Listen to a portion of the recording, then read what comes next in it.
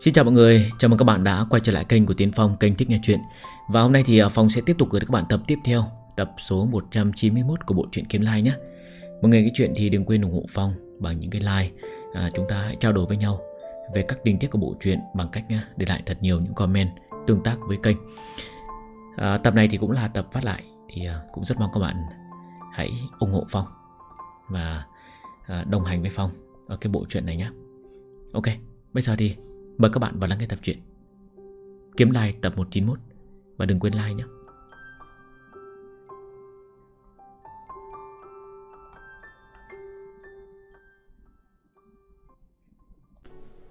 Lão Quế Thụ, Chu Tổ Tông Ở trên đỉnh núi Quế Hoa Đảo kia. Trần Bình An đứng dưới bóng dâm, Thời tiết nắng nóng, Gần như là không còn. Không thể không nhớ tới Lão Hòe Thụ nơi quê nhà. Chỉ là cây quế trước mắt Lá cây sum xuê. Lão hòe thụ thì đã không còn. Trần Bình An sau khi thương cảm Chật tỏ ý cười. Vẫn còn nhớ rõ hình ảnh Tiểu cô nương áo hồng miên Khiêng cành hòe buôn chạy. Lý Bảo Bình hoạt bát đáng yêu Không sợ trời, không sợ đất. Cùng lão Long Thành phạm nhị Vô ưu vô lự Có thể sống qua từng ngày thực sự tốt đẹp Đều khiến cho Trần Bình An hâm mộ không thôi. Hy vọng mình có một ngày Có thể trở thành người như bọn họ vậy không biết cái này có tính là ganh đua Như trong sách Thánh Hiền nói hay không? Trừ Trần Bình An, Dưới tàng cây quế già, Còn có hành khách độ thuyền Đang đứng top 5 top 3 Đều là quần chúng mộ danh mà đến, Chỉ trò lão thụ cao tuổi này. Còn có một vài cô gái chọn lựa Vị trí đứng yên Để cho vài vị họa sĩ Quế hoa đào Chuyên môn đợi ở đây Để bút vẽ tranh cho các nàng. Còn có một nhà ba người Muốn vị họa sĩ luyện khí sĩ Đan thanh diệu thủ kia, Giúp bọn họ vẽ một bức ảnh gia đình, Lưu làm kỷ niệm. Ghi chú, Đan thanh diệu thủ Là tài ba khéo tay nổi tiếng. Hết ghi chú. Lúc trước ở trên xe ngựa, Phạm Nhị có nhắc nhở Trần Bình An, Khách nhân có thể từ Lão Long Thành Đi hướng đảo Huyền Sơn làm ăn. Cảnh giới có cao có thấp, Xuất thân tốt xấu. Nhưng mà có một điểm chung, Chính là những người này đều không dễ chọc. Dây mơ rẽ má nhiều. Ai cũng có thể lôi ra một hai nhân vật thông thiên Hoặc là tiên gia hào Việt. Bởi vì Phạm gia ở Quế Hoa Đảo, Trừ vài tòa vật tư cất trong kho nhà mình, Rất nhiều khách nhân, Tài đại khí thô Cũng sẽ mượn dùng Quế Hoa Đảo Để tài hàng hóa. Nhóm người này không thiếu bối cảnh cùng tài lực, Thậm chí có khả năng so với Phạm gia Càng thêm phú khả địch quốc. Chỉ thiếu một chiếc độ thuyền vượt châu Nhờ cơ duyên mà có được. Cùng với một hàng tuyến thành thục an ổn mà thôi. Trần Bình An vốn không phải là người thích gây chuyện thị phi, Cho nên nhắc nhở này của Phạm Nhị Thuộc loại dệt hoa trên gấm. Lúc này Trần Bình An im lặng đứng ở xa xa, Sau khi đợi một vị họa sĩ trung niên ngưng bút Giao phó bức họa quận tròn xong, Trần Bình An mới đi ra phía trước, Đi lướt qua cô gái Đang vui vẻ phấn chấn, Tay cầm bức họa cuộn tròn. Hắn được bắt nhìn bức họa quyền trong tay nữ tử luyện khí sĩ, Giống như đúc không phải cứng ngắc bất động Như là kiểu môn thần hoa văn màu mè. Ở trên cửa, nơi quê nhà, Trên bức họa quyền, Quần áo cùng tóc đen của cô gái chậm rãi phất phơ. Lá trên cây quế diệp Cũng lay động như gợn sóng. Nhưng với nhãn lực của Trần Bình An, Phát hiện hình dáng cô gái Cùng với hình vẽ trên bức họa Hơi có khác biệt. Giống như vị họa sĩ kia, Vẽ cho thêm dạng dỡ vài phần. Trần Bình An tán thưởng không thôi. So với trước đó, thủ pháp khắc bia trên côn thuyền Mỗi người một vẻ. Họa sĩ trung niên nhìn thấy vị thiếu niên bối kiếm này Dung cổ tay. Phía sau hắn có một vị quế hoa tiểu nương bưng tiểu án. Trên đó còn có đặt văn phòng tứ bảo. Họa sĩ cười hỏi, Công tử cũng muốn vẽ tranh sao? Quế hoa đảo bọn ta lần lượt vượt châu đi xa. Trước khi tới đảo Huyền Sơn, Dọc theo đường đi sẽ có 10 cảnh. Mỗi một chỗ đều là cảnh đẹp thế gian độc nhất. Trong đó có lão quế thụ, Chu Tổ Tông này. Chứa tiền quế quang, Họa quyền dưới ngòi bút do bọn ta vẽ, Sẽ có hương khí nhẹ nhẹ quanh quẩn, Có thể bảo tồn trăm năm Mà không phai màu, Hơn đã tránh được kiến rán hủy hoại, Tuyệt không làm cho công tử thất vọng. Trần Bình An trước khi nhích người Cũng đã thu hồi tấm mộc bài quế khách Gật đầu cười nói, Ta muốn họa ba bức giống nhau, Xin hỏi tiên sinh cần bao nhiêu tiền? Họa sĩ trung niên sừng sốt một chút, Không biết thiếu niên dày dơm trước mắt là hào Việt công tôn chân nhân bất lộ tướng, Hay là đệ tử có tiền không dành tình đời? Người bình thường sẽ nhiều nhất Họa một bức, Nơi nào sẽ có một hơi cần tới ba bức? Chẳng qua cũng không ai chê mình kiếm tiền nhiều. Họa sĩ mỉm cười nói, Một bức họa 30 đồng tuyết hoa tiền. Nếu công tử cần ba bức, Có thể rẻ hơn một chút, Chỉ lấy công tử 25 đồng. Vị quế hoa tiểu nương tư sắc xa xa không bằng kim túc, Nơi tiểu viện khuê mạch. Thản nhiên mà cười. Ôn nhu bổ sung một câu. Công tử nếu có cầm theo đặc thù mộc bài quế hoa đào, Còn có thể được giảm 7 phần 10 đấy. Trần Bình An lắc đầu nói, Không có, Ta chỉ là khách nhân bình thường.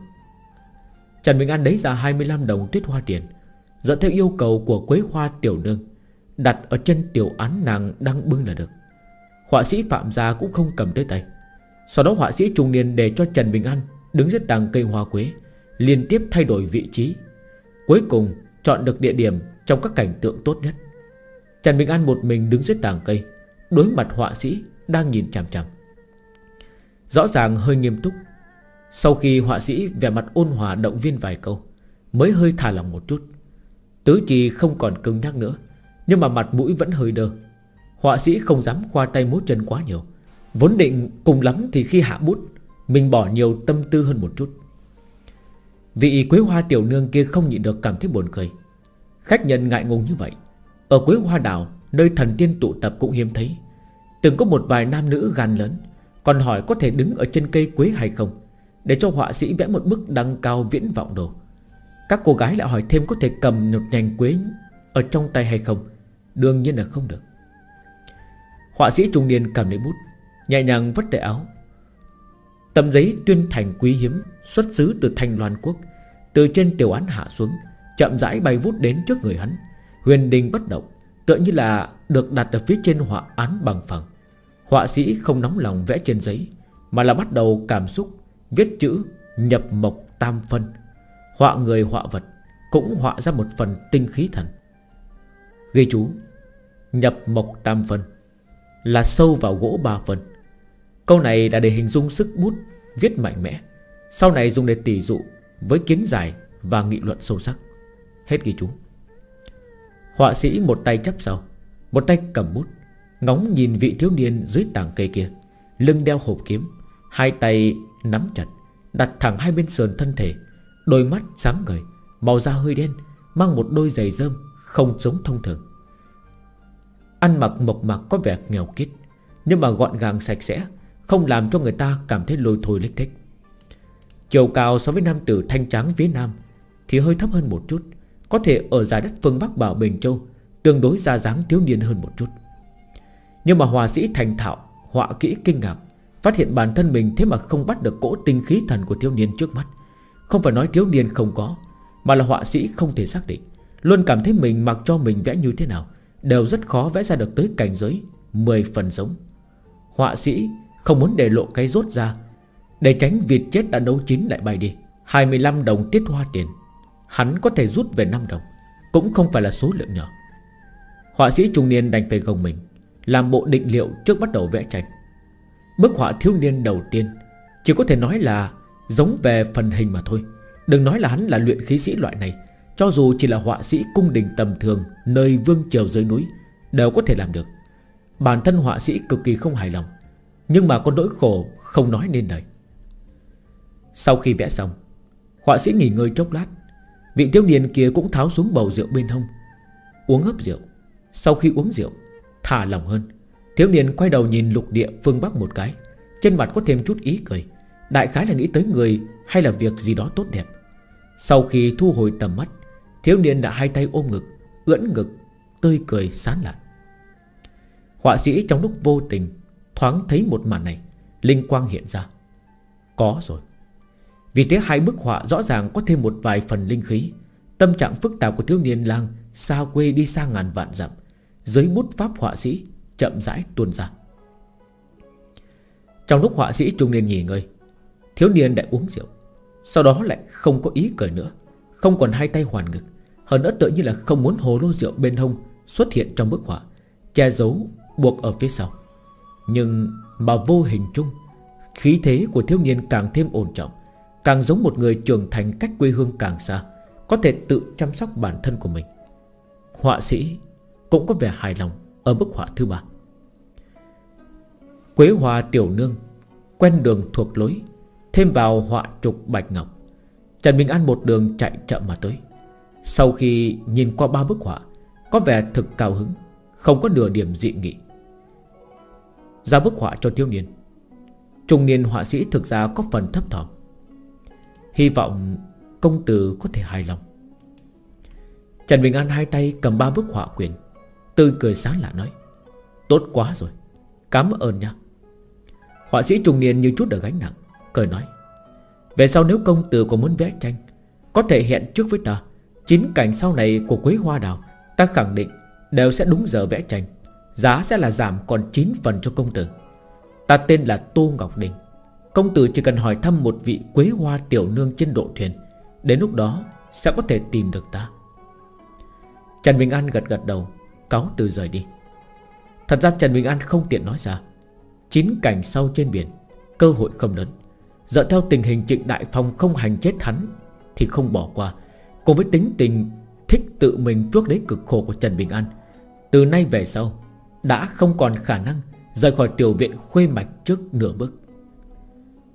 Trở lại phòng nơi tiểu viện khuê mạch, Trần Bình An bắt đầu đầy bút viết thư. Vẫn là viết từng chữ, Nét rất chăm chỉ. Chữ viết thô kệch, Đừng nói là so với đệ tử Thôi Đông Sơn, Chỉ sợ ngay cả so với Lý Bảo Bình Còn kém hơn. Lúc trước ở hiệu thuốc Bắc Khôi Trần, Lão Long Thành, Trần Bình An vốn định gửi thư cho thư viện Sơn Nhai Cùng với quê nhà Long Tuyển chỉ là sợ tự nhiên gây thêm chuyện Dù sao Lão Long Thành họ phù, Không dám hành động thiếu suy nghĩ. Sau khi biết trên quế hoa đảo Phạm Gia Có dịch trạm tiên gia phi kiếm đưa tin, Nên suy nghĩ đợi thuyền rồi tính sau. Vợ vặn lần này thực hiện đúng dịp. Vẽ ba bức họa giống nhau. Một bức gửi đi cùng với thư cho Lý Bảo Bình, Một bức gửi về quê nhà huyện Long Tuyền. Đến lúc đó, Lại để cho tiểu đồng áo xanh Cùng nữ đồng váy hồng, Hai tiểu tử kia giúp hắn đi viếng mồ mà Phần mộ của cha mẹ. Thiêu hủy bức họa, Cho cha mẹ biết Hôm nay mình sống rất khá. Cho nên lúc ấy, Ở dưới tàng cây quế, Trần Bình An mới giấu hồ lô dưỡng kiếm đi. Cũng không thể để cho cha mẹ hắn biết, Hắn đã trở thành một tiểu tử quỷ được. Viết xong hai phong thư, Mang theo hai bức họa quyền Trần Bình An lại rời khỏi sân, Đi hướng dịch trạm tiên ra Lần này ở ngoài cửa, Trần Bình An gặp hoa quế tiểu nương Kim Túc. Tuy Trần Bình An khăng khăng muốn tự mình đi dịch trạm gửi thư, Nhưng mà Kim Túc cũng khăng khăng muốn dẫn đường Nói nàng tuy không được ở tiểu viện khuê mạch, Nhưng mà vẫn là tỷ nữ bên tiểu viện đó. Nếu Trần Bình An ngay cả chuyện như thế này cũng phải tự tay xử lý, Nàng nhất định sẽ bị quấy gì cùng với Phạm gia trách phạt. Trần Bình An đành chịu, Đành phải để cho nàng đi theo. Cũng may, sau khi đến dịch trạm, Kim Túc đều im lặng, Không lên tiếng, Không có xen vào việc gì. Cho dù Trần Bình An vẫn là thu hồi mộc bài quế khách, Dùng thân phận khách nhân bình thường, Giao trả tuyết hoa tiền, Cô gái cũng chỉ làm như là hoàn toàn Không có nhìn thấy.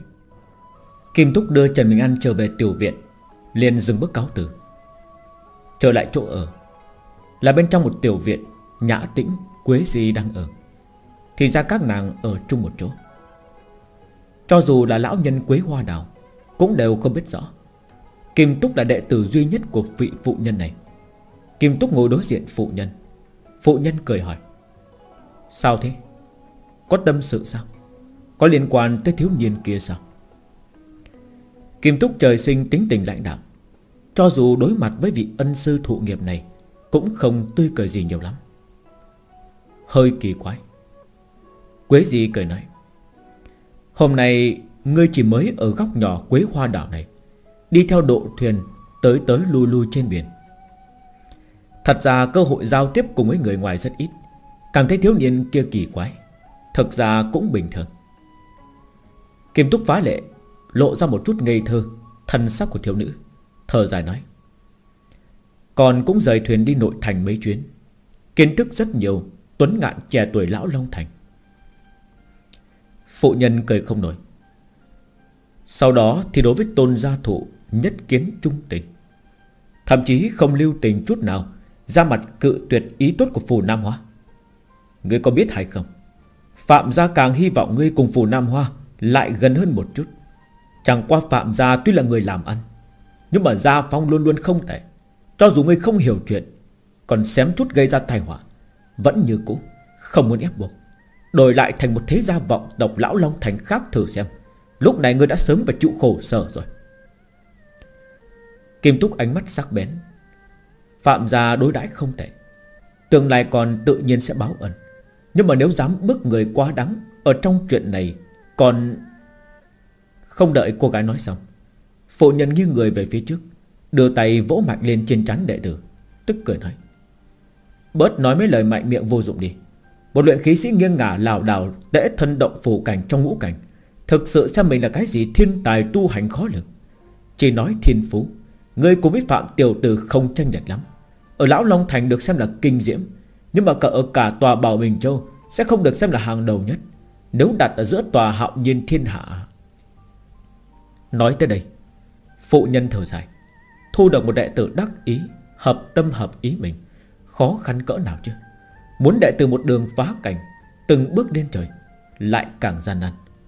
Cho nên, Chuyện tiên gia đình núi chân chính thu nhận đệ tử cho tới bây giờ đều là quan trọng nhất. Chỉ đứng sau chứng đạo trường sinh của bản thân. Nàng có quen biết hai vị địa tiên, Mười cảnh, Cùng một tu sĩ ngọc phát cảnh, Để khảo nghiệm tâm tính một đệ tử tương lai. Ít nhất phải tiêu tốn 10 năm, Dài nhất sẽ mất trăm năm. Sau khi chuẩn bị vạn sự, Mới có thể nhận lễ bái sư của đệ tử. Cô gái trẻ tuổi tâm tình cao ngạo, Hoặc là không làm, Mà đã làm thì phải làm đến cùng. Dù sao nơi này không có người ngoài Đứng dậy di chuyển vị trí, Ngồi ở bên cạnh phụ nhân, Ôm lấy cánh tay Quế Di, Làm đúng nói. Không phải Kim Túc còn nói có một sư phụ tốt đó thôi. Quế Di dùng một ngón tay chỉ chỉ cô gái, Trêu kẹo nói. Người có một sư phụ tốt, Ta lại có một đồ đệ sứt dẹo Không để cho người khác bớt lo lắng. Cô gái trẻ tuổi ôm lấy cánh tay phụ nhân, Đầu dựa vào bả vai phụ nhân Lầm bầm nói. Sư phụ Người nói tôn gia thụ có thích con không? Quế gì không trả lời vấn đề này, Mà là trêu trọng một câu. Ngày xuân đã qua, Lòng xuân vẫn còn. Kim Túc vẻ mặt thẹn thùng, Giọng trách móc nói, Sư phụ. Phụ nhân quay đầu nhìn khuôn mặt đệ tử, Hòa ái cười nói, Cô nương vừa tốt và xinh đẹp như vậy, Nam nhân như thế nào lại không thích được chứ? Kim Túc lòng đầy vui mừng. Nhưng mà phụ nhân lập tức thở dài nói, Nhưng mà người có nghĩ tới hay không? Tôn gia thụ, Trừ việc là một nam nhân nổi tiếng, Còn là gia chủ tôn gia lão Long Thành, Là dã tâm bừng bừng, Muốn trở thành nam nhân trung hưng, Chi tổ của tôn gia, lại là môn sinh đệ tử thương gia ký thác kỳ vọng cao. Cho dù hai người các người cuối cùng vượt qua muôn vàn khó khăn, Cuối cùng có thể đi đến cùng nhau. Một khi gả đi trở thành phụ nhân thương gia, Đường tu hành của ngươi sẽ rất khó. Cô gái trẻ tuổi thân sắc ảm đạm. Phụ nhân vuốt mái tóc đen, Mềm mại của Kim Túc. Đại đạo phong quang tốt vô cùng. Nhưng mà hành tàu không dễ. Tất cả lấy hay bỏ Đều là tu hành, Sống trên cuộc đời Vốn là một hồi khổ tu. Phụ nhân đột nhiên cười nói, Sư phụ không hiểu, Vì sao người lại không coi trọng Phạm Tiểu Tử? Thằng bé tốt như vậy, Nếu người có thể thật lòng thích hắn, Sư phụ cho dù liều mạng cũng không cần thể diện.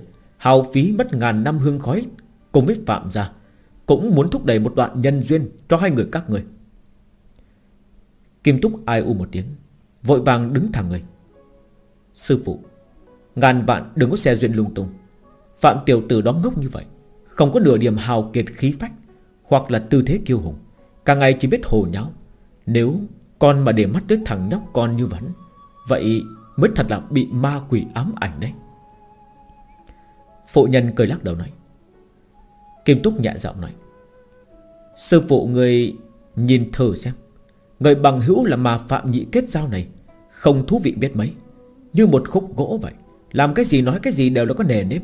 Người như thế, Cho dù gia thế tốt đến mấy, Được Phạm Gia Long trọng đối đãi đến mấy, Về sau thành tựu cũng nhất định không cao đến nỗi đâu. Phụ nhân hơi suy tư. Về việc này tuy không tán thành, Cũng không phủ định. Sau khi trở lại viện tử, Trần Bình An tạm thời nhàn nhã, Không có việc gì còn quan tâm. Bắt đầu trong sân luyện tập lục bộ tàu thung Lão kiếm tù Kim Đan thật ra không cần rời khỏi phòng ốc, vẫn có thể quan sát thiếu niên luyện quyền. Nhưng mà lão nhân vẫn đầy cửa đi ra, Quang minh chính đại, Quan khán quyền cọc. Trần Bình An không để tâm chuyện này, Chỉ yên lặng luyện quyền. Trước khi lên độ thuyền Ở sơ thủy quốc, Trần Bình An đi cọc luyện quyền tương đối chậm.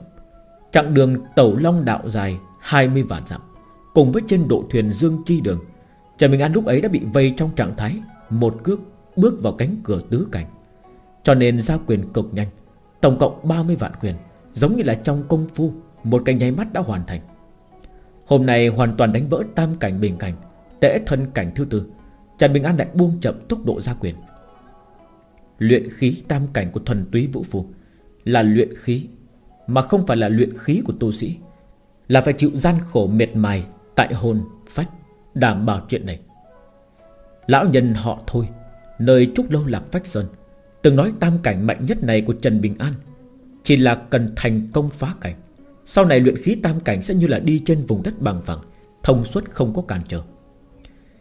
Việc rèn luyện tứ cảnh hôm nay Trần Bình An luôn cảm thấy Có điều mơ hồ phiêu đắng Không giống tam cảnh trước đó Từng bước đi đều dừng trên mặt đất rắn chắc Cho nên Trần Bình An tạm thời Cảm xúc chưa sâu Không biết cảnh thứ tư của mình Có được tính là đủ vững hay không Lão nhân từng có đề nghị Tầng cảnh của Vũ Phu 4, 5, 6 Ba tầng này Tốt nhất là tìm kiếm cơ duyên ở trên cổ chiến trường duy trì Âm phong sát khí Cương phong trí dương trí cường Các loại khí cơ nhiễu loạn lai lịch pha tạp Toàn bộ đều là thứ tốt Cho Vũ Phu dùng để luyện luyện hồn phách đạp. Xét đến cùng, Vẫn là hai chữ chịu khổ. Đây là đấu cùng với thiên địa, Đều là lý tưởng tiếp theo, Chính là chiến trường sát phạt. Đặt mình trong đó, Càng là huyết chiến tử chiến, Càng có thể gặp mọi địch thủ trên đời. Tiếp theo nữa Là từng đôi chém giết trên giang hồ, Dùng giang hồ tông sư Hoặc là luyện khí sĩ trong ngũ cảnh Làm đá mài đao, Mài rũa võ đạo tu vi. Mà kiếm khí trường thành kia Kiếm khí tùy ý tung hoành Ở giữa thiên địa. Tiền thiên bài xích, Toàn bộ luyện khí sĩ Trừ kiếm tù ra, Càng miễn bàn thuần túy vũ phù. Không biết có bao nhiêu vũ phù, không biết tự lượng sức mình, Hoặc là hộ đạo nhân, Bản lãnh không đủ cao, Tham tăng cảnh giới, Chết bất đắc kỳ tử, Nơi kiếm khí trưởng thành. Cho nên lão nhân mới phải yêu cầu Trần Bình An tễ thân Cảnh thứ tư, Rồi mới được xuất phát đi hướng đảo Huyền Sơn, Đằng lên đầu tường kia. Sau đó sống sót Đi xuống đầu tường kiếm khí trường thành. Về phần Trần Bình An cần ở lại đầu tường kia bao lâu? Tự lượng sức như thế nào? Tận lực leo lên đầu tường mấy lần, Lão nhân không nói thêm một chữ. Hắn đã cảm thấy những điều này là lời thừa. Lão nhân chân trần ánh mắt rất cao. Trăm năm trước cũng đã tẽ thân 10 cảnh đỉnh phong, Cho nên ánh mắt của hắn Vẫn nhìn về phía cao nhất, Hạo nhiên thiên hạ. Cho nên rất nhiều võ đạo minh sư Đều phải lặp lại ngôn ngữ nhiều lần. Lão nhân lại là một câu Cũng không nói cùng với Trần Bình An. Ví dụ như cơ duyên phá cảnh Giữa 3 và 4 6 và 7 Một chữ cũng không đề cập tới. Cùng với huyền cơ của người mạnh nhất, Mỗi một cảnh võ đạo Cũng chả nói. Lão nhân nói càng ít, Thật ra là kỳ vọng càng cao. Đệ tử do ta tự tay dạy dỗ cửu cảnh Tính là cái gì chứ? Mười cảnh còn không đủ xem. Trần Bình An người nên đi thẳng đến võ thần cảnh Ở trong truyền thuyết. Để cho thôi lão ta, Tâm cao ngất này, Cũng phải cảm thấy Trần Bình An ngươi Ở trên thương thiên Nhưng thế sự chính là kỳ diệu như vậy. Thôi lão đầu nói rất ít, Trần Bình An ngược lại Lĩnh hội càng nhiều. Liên tiếp hai lần thiên đại cơ duyên, Nơi tổ trạch tôn thị Trần Bình An Lần đầu tiên là tỉnh tỉnh mê mê. Chỉ cảm thấy một quyền nọ Đánh ra không thoải mái. Sau khi biết chân tướng, Cho dù lần lượt gác đêm, Thật vất vả đợi cho cơ duyên hàng lâm, Thực sự đến một khắc đó, Trần Bình An bỗng nhiên phát hiện, Chỉ cảm thấy một quyền này Mình vẫn cần phải đánh ra. Sau đó không chút do dự, Đánh cho những dao long biển mây, Do khí lưu màu vàng hóa thành, Quay trở về thiên thượng. Một già, một trẻ, Đều không giảng đạo lý. Kiếm tù kim đan cảnh, Mã trí khởi điểm vẫn chưa ngạc nhiên chút nào. Nhưng mà sau khi lâu dài Quan khán thiếu niên đánh quyền, Rốt cục đã nhìn ra manh mối. Lão nhân lắc đầu cười khổ. Chỉ cảm thấy gặp quỷ rồi. Hồn phách đàm của một vũ phu thuần túy Đều đã có sơ hình. Chỉ đợi nhào nặn mà thôi. Điều này có nghĩa là tứ cảnh Đến tễ thân cảnh thứ sáu Sẽ rất nhanh. Có thể nói là thông suốt. Nếu một nơi theo đuổi tốc độ vươn lên của một võ đạo, Hoàn toàn có thể dọa người bên cạnh Mà sợ mất mặt. Nếu không phải trước đó Biết được thiếu niên chỉ vừa mới tễ thân cảnh thứ tư Thật ra có thể lão nhân sẽ không khiếp sợ như vậy. Nhưng mà rõ ràng trịnh tiên sinh đã nói rất chuẩn xác. Thiếu niên chỉ là tứ cảnh mà thôi. Trên đời này, Nào có cảnh thứ tư mãnh liệt bá đạo như vậy chứ? Vị phạm gia môn khách này Phát hiện phi kiếm bản mạng Ở trong khí phủ của mình Đang sục dịch. Trong đầu lão nhân lại có một tia ý niệm Muốn xuất kiếm luận bàn cùng với thiếu niên này. Luyện khí sĩ cảnh thứ 9 Kiếm tu kim đàn Đối với một thuần túy vũ phu cảnh thứ tư còn muốn nghiêm túc xuất kiếm sao? Lão nhân lòng tràn đầy buồn bã Cảm thấy mình thực sự đã già rồi. Nhưng lão kiếm tu nhanh chóng thoải mái Thiên đại, địa đại.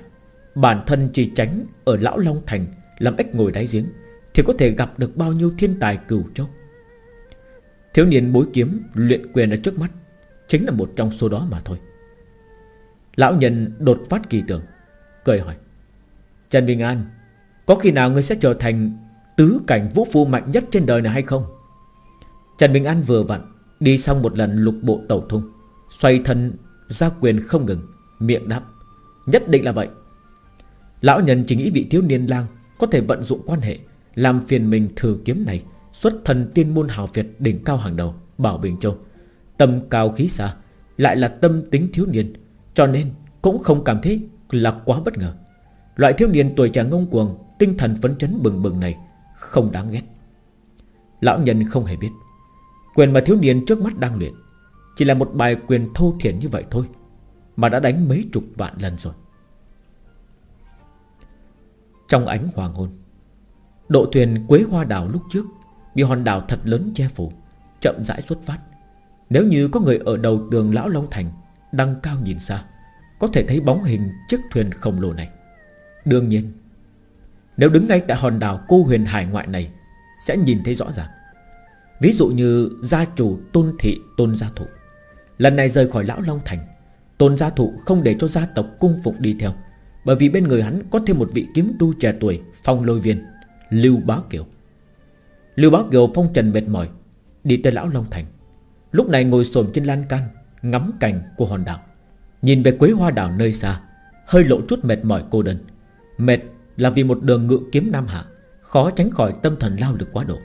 Vẻ cô đơn trên mặt Là trăm mối cảm xúc ngổn ngang, Tựa như là một cơn ức chế tích tụ ở trong bụng, Đã đi đến cuống họng, Muốn phun ra một hơi, Lại sợ tổn thương đến bằng hữu. Tôn gia thụ nhẹ giọng nói, Vì sao không đi tới quế hoa đảo Giải thích một chút? Lưu Bá Kiều dù là kiếm tu thiên tư trác tuyệt, Lần này một đường vô cùng lo lắng Rời khỏi phòng lôi viên Ngự kiếm đi xa như thế, Vẫn là môi khô nứt, Đưa tay quẹt quẹt, Lắc đầu nói. Ta nào có mặt mũi đi gặp Trần Bình An? Tôn gia thụ nghiêng người, Dạo vào đình trụ, Ngồi bên cạnh Lưu Bá Kiều, Cười khổ nói. Lần này là ta có lỗi với người. Lưu Bá Kiều quát tay. Giận thì giận, Đạo lý vẫn là đạo lý. Trần Bình An chỉ là bằng hữu của Lưu Bá Kiều ta, Không đồng nghĩa Cũng là bằng hữu của chính tôn gia thụ người.